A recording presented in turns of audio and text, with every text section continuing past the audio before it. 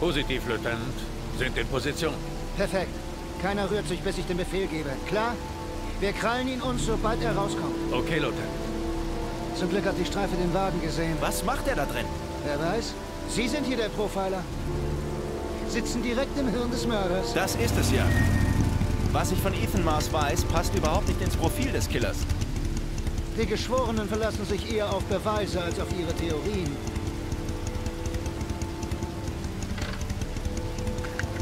Verdammt, was macht die Kleine da? Wenn Mars rauskommt, wird gefährlich für sie. Und jetzt? Soll sie raus? Nein, zurückbleiben.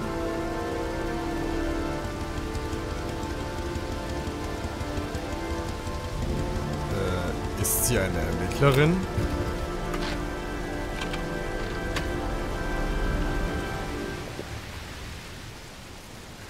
Also das ist doch Madison, ne? Erkennt man ja allein schon am Hintern.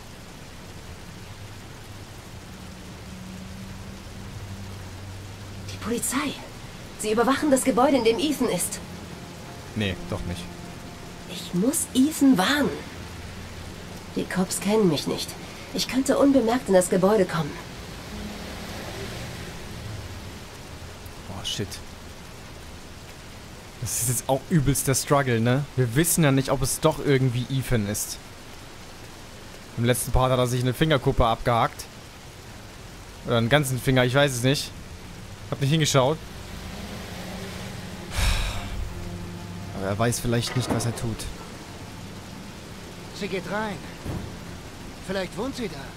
Wie auch immer, da darf auf jeden Fall keiner rumhängen, wenn Mars rauskommt. Ethan, was ist los? Die Polizei, da draußen. Ich glaube, die wollen sie verhaften. Wir müssen woanders raus. Scheiße. Was macht der bloß da drin?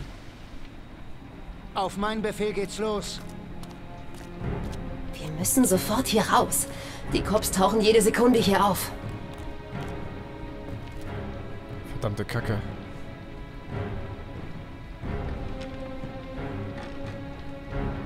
Aber wo kommt sie auf einmal her?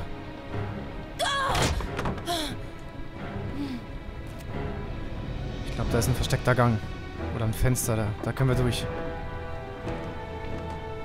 Ich muss mich beeilen, bevor die Bullen kommen. Ethan ist es nicht. Kann es nicht sein. Nein, das ist viel zu offensichtlich. Am Anfang war es noch möglich, jetzt nicht mehr.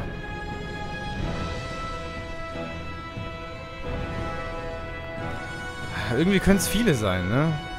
Vielleicht auch dieser scheiß Polizist, Scheiße. aber nein, der würde sich dann Es ja nicht mit so vielen. Leuten anlegen. Ich denke, es ist eine unbekannte Person. Wie? Es ist zu hoch. Stell doch die Kisten oder so dahin. Die Kiste. Wenn ich sie zum Fenster Ja, kriege, eben. könnte ich mich hochziehen. Jan, warum nimmst du sie nicht? Oder gibt's noch irgendwo eine andere? Das Fenster ist zu hoch. Ich schaffe es nie, mich hochzuziehen. Ach, die? Okay.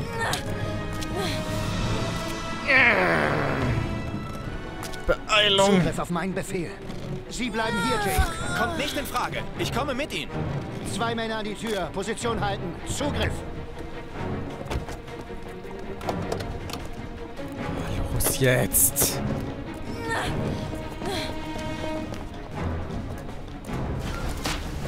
Mach das Ding auf. Los, hier entlang. Beeilung. Oh, der ist ja noch verletzt, ne? Logischerweise. An so gut wie allen Körperstellen. Oh nein, ich habe nicht mehr viel Zeit. Ich habe nicht mehr viel Zeit. Er muss auf jeden Fall weg. Wenn nur sie drin ist, dann greifen sie vielleicht nicht an. Aber Madison schafft es. In der letzten Sekunde.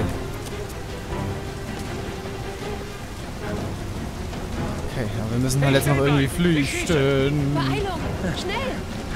Ich kann nicht. Scheiß Dreck. Scheiße. Lieutenant, Was jetzt? ein Mann und eine Frau kommen aus der Gasse. Scheiße. Die ist doch vorhin rein. Alle Mann runter. Was zum Teufel mache ich? Hinterher. Ich helfe einem Flüchtigen. Ich muss komplett durch. Die U-Bahn. Wir haben die Cops am Arsch. Keine Chance. Scheiße, sie haben uns. Wir müssen weg, solange es noch geht. Hinter diesen Laster da. Schneller!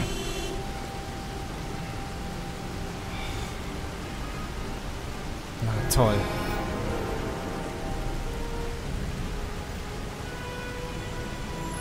Ich habe alles versucht. Hätte man da überhaupt entkommen können?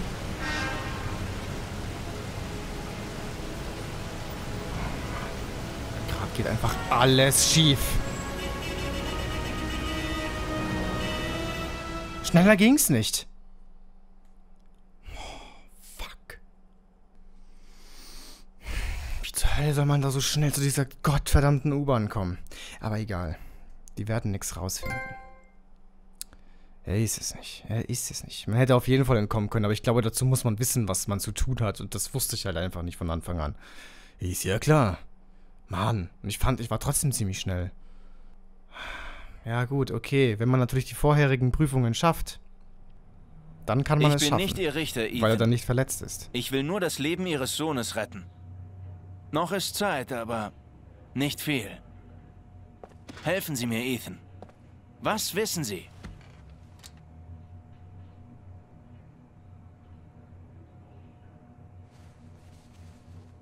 Ich will ganz ehrlich zu Ihnen sein, Ethan. Ich glaube, Sie waren es nicht. Ich weiß, das klingt komisch, aber ich habe meine Gründe. Helfen Sie mir, Ihre Unschuld zu beweisen, denn es sieht nicht gut aus für Sie, verdammt! Schauen Sie, Ethan. Sehen Sie sich das an! Acht Fotografien, acht Leben ausgelöscht, ertrunken, im gottverdammten Regen. Erkennen Sie ihn, hä? Ihren Sohn, Ethan? Das ist Sean. Er ist immer noch am Leben. Reden Sie, Ethan. Sagen Sie was. Reden Sie.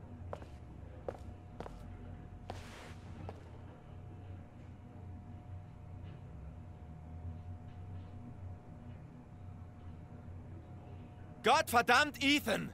Wo ist Sean?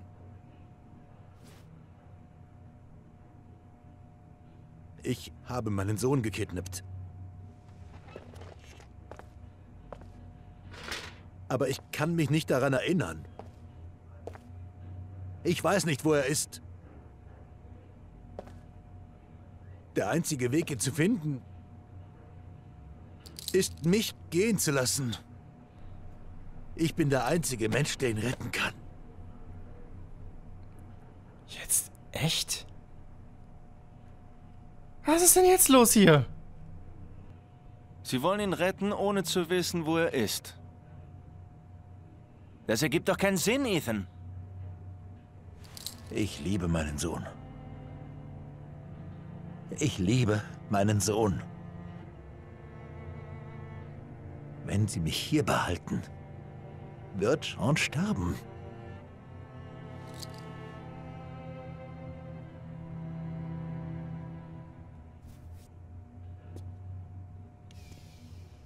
Die Zeit läuft, Ethan. Im Ernst, mir ist Ihr Motiv egal. Ich will nur eins wissen. Wo verstecken Sie Sean? Ich weiß es nicht. Ich hätte ihn gerettet, wenn ich es wüsste. Okay. Ihre letzte Chance, Ethan. Diesmal überlegen Sie genau, bevor Sie antworten. Wo ist Sean? Ich sagte Ihnen, ich weiß es nicht. Auf mit diesem Scheißdreck! Schon, Arschloch! Darauf warte ich schon so lange. Komm schon, komm schon, Wichser! Komm, zeig's mir! Du bist es nicht wert, du Bastard. Damit werden Sie nicht durchkommen, Blake. So ein Schwachmacht. So geht das nicht. Ich setze Captain Perry von der ganzen Sache in Kenntnis. Wo ist der? Der Scheißkerl prügelt ein Geständnis aus Mars. Er will einen entschuldigen, auch wenn es der falsche ist. Ja, ist klar, der braucht einfach nur seinen Fame. Fuck, das Arschloch ist diesmal eindeutig zu weit gegangen. Ja, aber wo soll ich denn hin?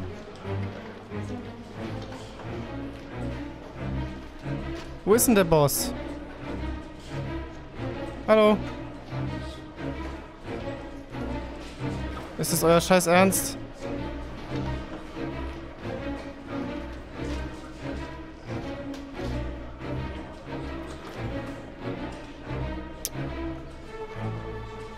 Hier vielleicht?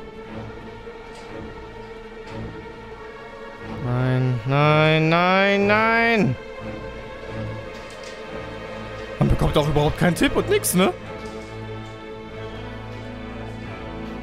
Wir haben den mal getroffen, aber da ist er hier einfach so rumgelaufen.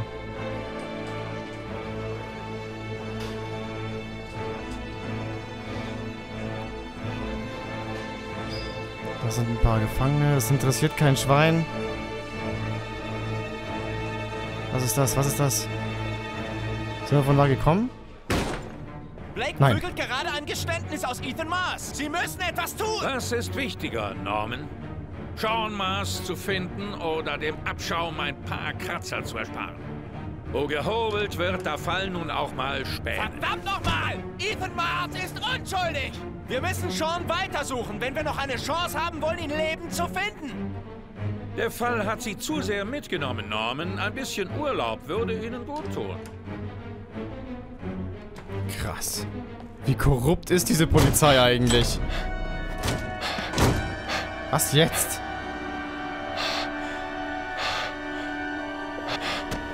Das ist leider nicht ungewöhnlich. Ah, jetzt braucht er schon wieder was. Ja, aber wenn er das jetzt nimmt, kann er nicht mehr klar denken.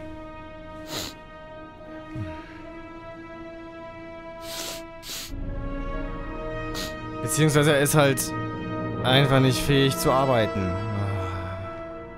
Aber ohne halt auch nicht. Ich wollte es ihm, by the way, nicht geben, aber... Genau in dem Moment kam diese scheiß Option. Ah.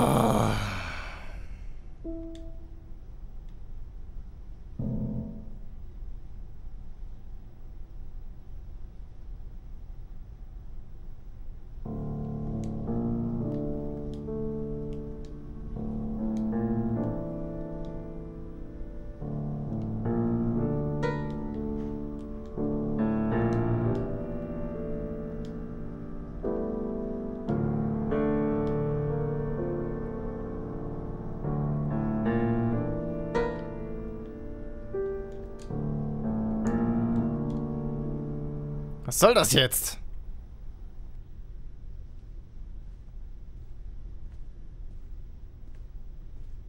Ihr Wodka, Sir.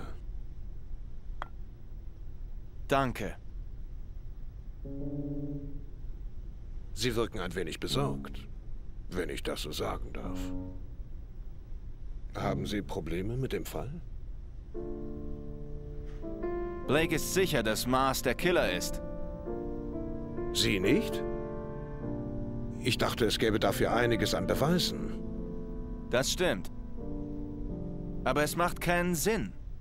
Sein psychologisches Profil passt nicht. Genauso wenig wie sein Geoprofil. Dieser Mann ermordet nicht acht Kinder und entführt dann seinen eigenen Sohn. Mars ist nicht der Origami-Killer. Da wette ich drauf. Und wer dann? Ich habe keinen blassen Schimmer.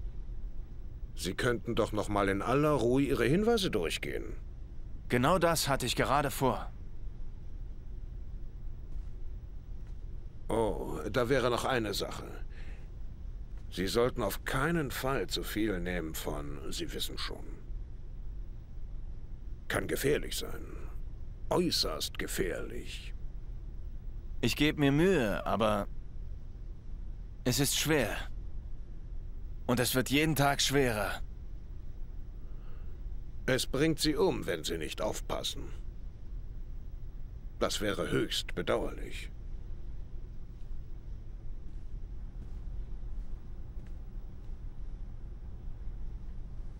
Hm.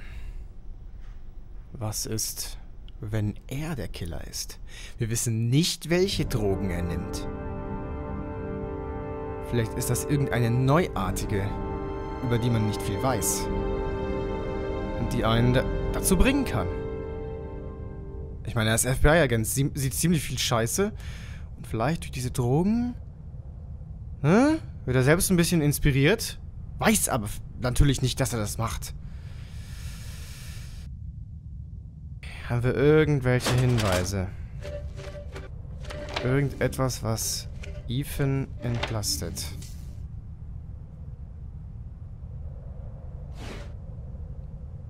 Wenn ich wüsste, was jetzt von mir verlangt ist. Ich habe keine Ahnung.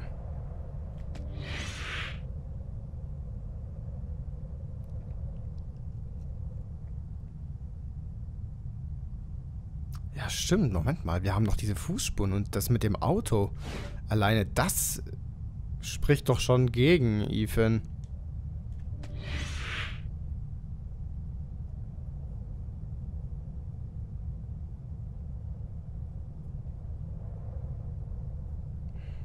Aber gut, seine Frau hat ihn einmal draußen gesehen.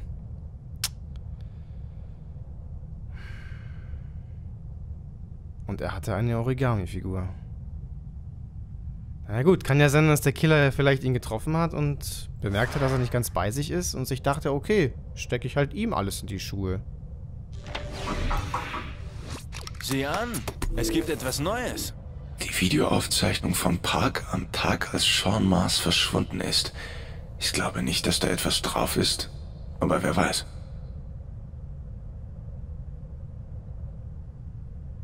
Hm. Können wir uns das irgendwie ansehen? Ja, da ist doch bestimmt irgendwo was. Ein Chevrolet mit übereinstimmenden Reifenspuren fuhr um 16.02 Uhr in Richtung Park und um 16.37 Uhr in die entgegengesetzte Richtung. Könnte mit der Entführung von Sean Mars übereinstimmen. Ist das der Wagen des Mörders? Ja. Die Reifenspuren passen doch auch zu dieser Dreckskarre. Es muss so sein. Es muss Schade, so sein. das Gesicht des Fahrers ist nicht zu erkennen. Natürlich nicht. Mehr haben wir aber jetzt nicht, ne?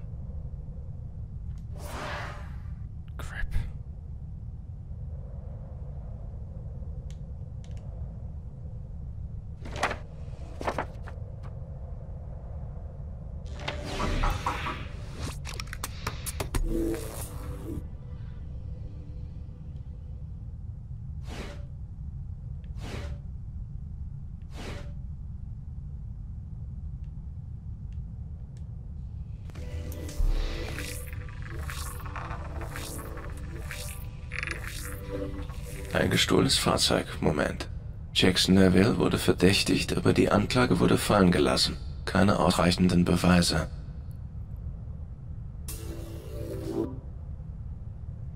Hm. Wer ist das?